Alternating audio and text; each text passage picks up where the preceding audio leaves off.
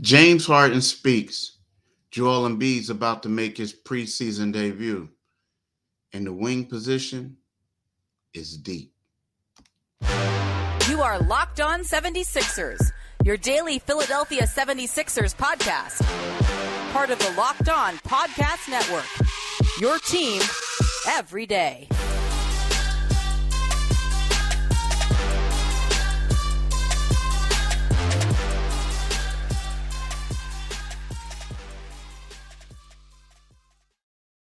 Thanks for making Locked On 76ers your first listen every day. We are free and available wherever you get your podcasts and on YouTube. Part of the Locked On Podcast Network. Your team every day. Today's episode is brought to you by Gametime. Download the Gametime app, create an account, and use the code Locked On NBA for $20 off your first purchase. Hello, I'm Keith Pompey, the host of Locked On 76ers, and I want to say a happy Monday to you guys. Um, as you know, the 76ers play their third preseason game tonight. And to me, I, I think that this is going to be another step for them because it's going to be the first time that Joel Embiid plays, right? So we're going to see how you can incorporate Joel in that f- free flowing uh, ball movement motion offense, so to speak, that they are going to have, right? Now, the thing is, of course, James isn't playing, but once James plays, um, if he plays, we'll have a better idea. But to me, this is a major step because in Joel is a guy who's the first, second, third option often, and he's a guy who really um, you know, averaging 30 something points, two time defending scoring champion. So I really want to see how this thing works out with him in here and with the Sixers, um, you know, new uh, free flowing ball movement offense, how that's going to work. But I'm not going to bury the lead. We're going to talk about James Harden, right? You know, James Harden spoke to the media on Friday um, about his situation with the Sixers now he wouldn't come out publicly say that he wanted to be traded, but it, I, I think that was left for everyone to know, right? And you still have to ask the question. I asked him, you know, do you want to be traded? Like, do you want to be traded? And you know, he basically said that's up for you. Got to talk to the. He said you got to talk to the front office about that. I've just been here working my butt off, and I love the game of basketball. So I'm just in the gym putting in the work. That's all I can control. So, in other words, it's like, you know, he doesn't want to talk about it and I understand it. The thing about it is you have to ask that question. But typically, if a player asks that question, they can get fined because they're asking for a trade. But you ask it because it's the elephant in the room. Everybody knows. You can say, no, no, I don't know where y'all getting that, this stuff from. But the one thing, the biggest takeaway from that is that the relationship between James Harden and Daryl Morey is shot, is over. You know, there was times when everybody was talking about can it be repaired? Um, you know, uh, you know, this and that. Can James walk it back? It's tough to walk back what he said when he called him a liar and said he'll never be a part of that organization again. But this is what James said when he opened up. He said, but it's all about trusting people that you have known for over a decade. Now, him and Daryl go way back. You know, Daryl traded for him in 2012 from the Oklahoma City Thunder to the Houston Rockets, right? And they had that relationship. James has gone on since then, has been a 10 time All Star, three time scoring champion, 2018 MVP. So they relationship is is good. Daryl got James paid. Daryl even was the guy who said some stuff that was a little questionable when he said James was a better scorer than Michael Jordan. But that was his guy, and everybody knew it. But James continued on to say, when I got traded here, my whole thing was I wanted to retire a Sixer. And the front office didn't have that in their future plans. So it's literally out of my control. It's something that I didn't want to happen to be in this position. but I have to make a decision for my family. This is a business. Now, you can look at this two ways. You can say James is saying what he wants to say, and and you and you uh you talk about you know the things that Daryl said in the past or the things that you know the Sixers don't want to you know they they want to invest in James short and long term. They didn't want to mess up their short and long term um, future with James, right? So James opted in and took 35.6 million, right? Uh, for this one year. Because let's face it, as much as the Sixers are saying, um, yeah, we didn't negotiate. In order for James to opt in and take that money, he had to believe that he wouldn't have received that money, right? I mean, and let's face it, he took a, a $15 million pay cut um, and signed a two year deal with a player option for the second year. Why did he do that? So Daryl could bring in PJ Tucker and Danuel House, right? So the thing is, when did James realize that this thing was shot? Now, this is I'm reading, you know, quotes from the presser. James said, "Me and the front office had a very, very good relationship." Now, like, I, like I'm telling you guys, he's not referring to Daryl by name, but everybody knows who he's talking about. He said, "Me and the front office had a very, very good relationship." Like I said, for a decade, there was constant communication. There was no communications once we lost in the playoffs. Now they lost to May to the Celtics in the second round. So that was it, right? Um, and I even asked James, I said, is this a relationship that can be repaired? James said emphatically no.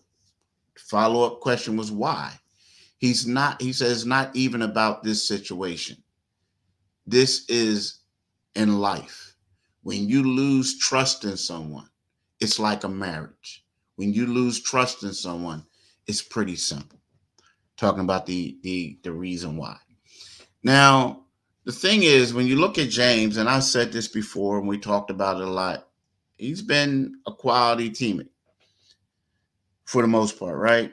Doing everything they had asked him to do. But you wonder, is he doing all this so he doesn't get fined? Is he doing this with the expectation that he's ultimately going to get traded? You know, there's a lot of things and a lot of thoughts that go through your mind when you see James do this. Now, let's just say October 26th comes and James is on the roster. Does he change his approach? Let's just say December 15 comes and James is still on the on the roster. How does he feel about that? You know, there's a lot of different variables and a lot of different things that you you you think that could change the dynamics of what's going on. But he spoke.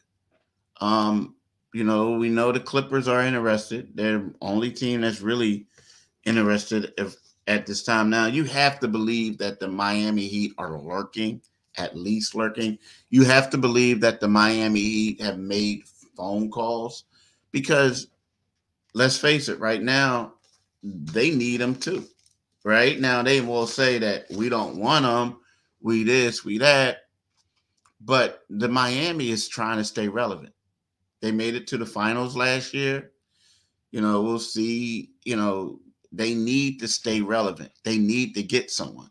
So, you know, once if Miami shows his hand or some other teams, I'm pretty sure the ball will get moving. But right now, until somebody steps out and says what they have to say, could be a little bit slow. And then that's something that you got to pay attention to when it comes down to, you know, uh, how this whole situation is is, going to uh, continue. Like what you know, what's going to happen? You know, it's going to be a lot of different things, right? It's going to be a lot of different things. But look, y'all, I want to talk to y'all right now about game time, right?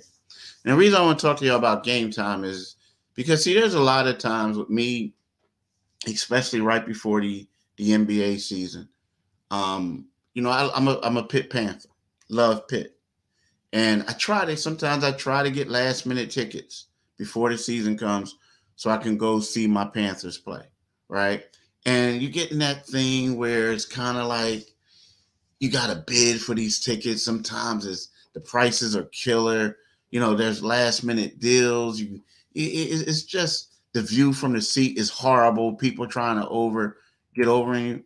Well, you don't have that problem with game time, right? See, because game time, the thing I like about game time is is is great for last minute tickets. They also have flash deals. They're easy to find and buying tickets for every kind of event in your area. You know, views from all the seats in the venues. They have lowest prices guarantees, event cancellation protection, job loss protection, the whole nine. Gametime has deals on tickets right up to the start of the event, even an hour after it starts. It's the place to find last minute tickets. So, what you need to do is y'all need to go down to you go down and you download the Gametime app, create an account, and use the code locked on NBA for $20 off your first purchase. Terms apply. Again, create an account and redeem the code L O C K E D O N NBA for $20 off. Download Gametime today. Last minute tickets, lowest prices guaranteed. I'm telling y'all, do it today, people. Definitely do it today. So here's the thing. So Joel is going to make his debut tonight, right? And you know, it's a preseason game. I get it. You know, um, you really sometimes preseason games can become tricky. It's now let's say if if Doc Rivers was still the coach and they were running the same old system, I wouldn't really put too much stock into this game at all. And I still tough to pick stock into this game. But me knowing tonight, my whole focus is going to be on how Joel fits in with teammates how they play around. The first game we looked at it, you saw freedom. You saw a lot of different guys bringing the ball up, a lot of different guys doing certain things. And I shouldn't say a lot, but the first game you saw Tobias bring the ball up once. You saw PJ Tucker bring it up. You saw guys just getting free shots, doing a lot of different things. Tobias was really involved in the offense. And you know, when you think of that, that's nothing new when somebody is out last year. Like Tobias would step in and he would be that guy, right? So the deal is I want to see how they can keep this free flowing thing with Embiid on the floor. You know, I want to see how if stuff isn't going right, and it might not happen tonight, but if stuff isn't going right, is Joel still going to be committed to this offense? Right? I want to see is he going to be a willing pass. Now there was times last year he was a willing passer, right? But let's not get it twisted. I mean, you got to shoot the ball a lot in order for you to be the two-time defending scoring champion. I mean, he averaged over 30 points both seasons, right? So with that, I want to see if Joel can still be impactful, if the Sixers can still, you know, be a quality team with getting less out of Joel on the offensive end. And to, the first time we'll see that will be tonight. Now, the other thing is we got to look at it is like, you know, you got you do as long as James is here, and if he plays, you're still going to have to incorporate him in the offense. So you're still not getting 100% of what you're going to get. And you possibly won't get that to see what it is until the season opener, if James plays, right? If he's still here. And the reason being is because, you know, I don't know if they're going to go have all of their starters play in the last preseason game. I don't know. You know, I know James says he's playing. So, you know, you assume that since Joel missed the first two, he'll probably play tonight and he may play that that one. So that's two. But again, how is it going to work, right? But I'm really looking forward to seeing that. I am. I am. you know, I'm also looking forward to seeing a guy like um, Jaden Springer again. I want to see, you know, he had a great two games, the first two. I want to see if he can continue it. I want to, I want to see that. And like when I look at this team it's like Brooklyn's a little bit younger guys, um, athletic. Let's see how he can thrive or excel against them. You know, he did. I mean, again, Boston. That was phenomenal what he did against them, but it was a preseason. These guys weren't, you know, it was just a preseason. Let's face it. But there's always different, what they say, different horses for different courses, so to speak. So I really would like to see what he can do, and and I can't wait to see Furkan play. I just can't, you know, I, I just can't. Uh, whenever he does return, but we'll talk about more about that battle when we get right back. Right now, I want to talk to y'all about BetterHelp. Right, you know this this episode is sponsored by BetterHelp. Right, is um so I want to talk about this little episode, this third episode is, is sponsored to it. And, and here's the thing about BetterHelp, right? So the thing about BetterHelp is, you know, I want to talk to you about the time when when I knew things were good for me, right? But in a way, mentally, I'm saying to myself, like, nah, you know, this can't be true.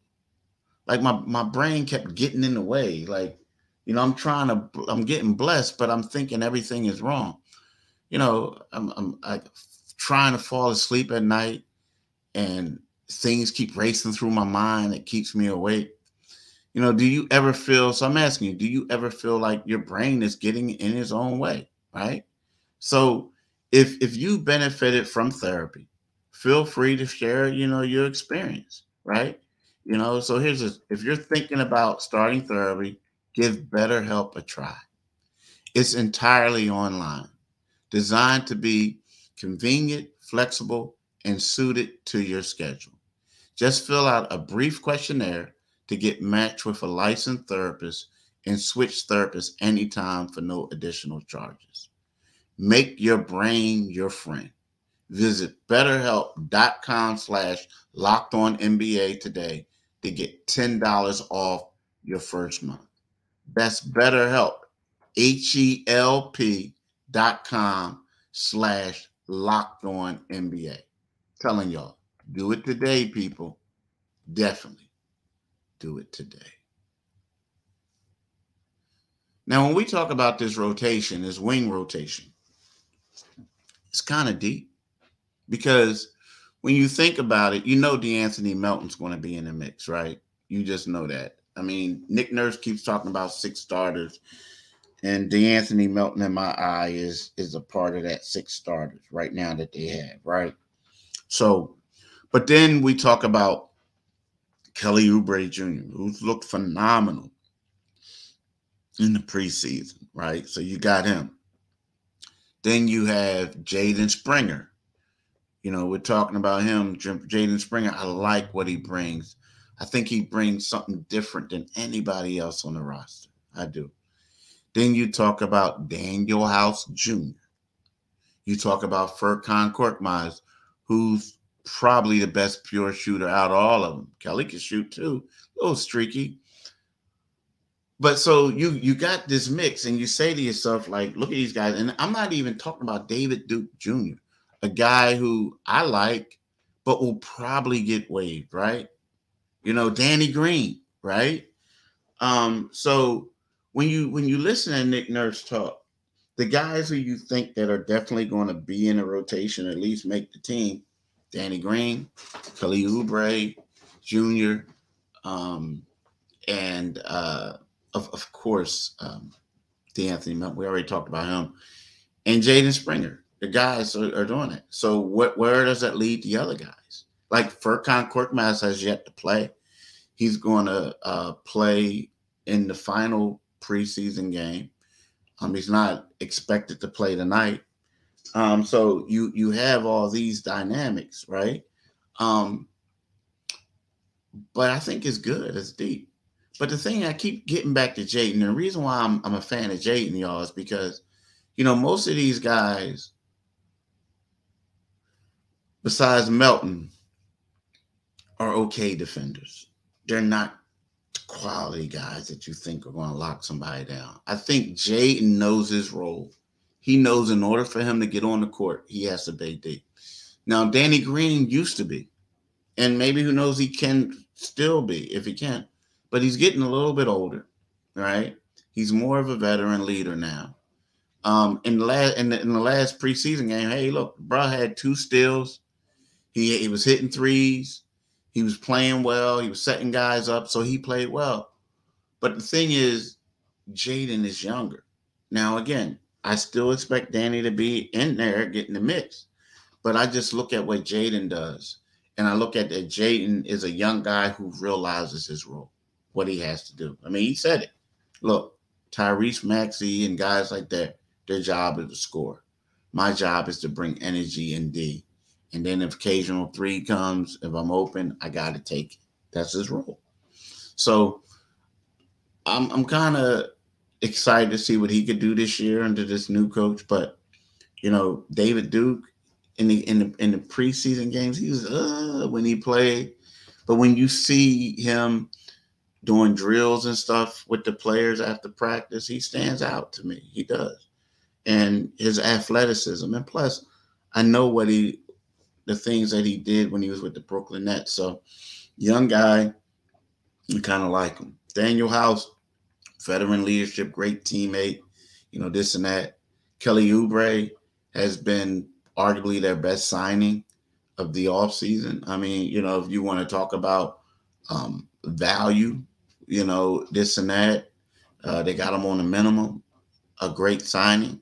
And I feel like he could be a guy who could be a six mere six man type of year type of guy for them. You know what I mean? So yeah, I really like what I see. The Sixers um, is going to be a good competition.